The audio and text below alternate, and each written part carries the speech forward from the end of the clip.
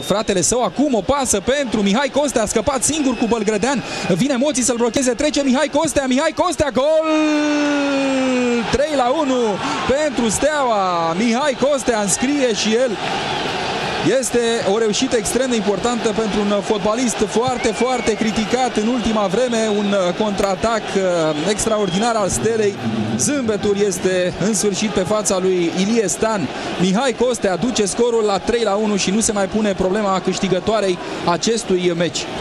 Da, și cel mai bine tristețea marilor echipe se vede în, uh, în bucuria adversarilor, în bucuria rivalilor. 3 la 1 pentru Steaua, care se impune în uh, Ștefan cel Mare. N-a mai bătut de mult uh, Steaua pe Dinamo aici în Ștefan cel Mare la două goluri diferență. 3 la 1 cred că a fost ultima dată în 1997 cu Dănciulescu printre marcatorii Stelei. Foarte frumos a trecut uh, Mihai Costea de, de emoții. Aștepta acolo o pasă, cred că era fratele său, Florin Costea. Da, într-adevăr.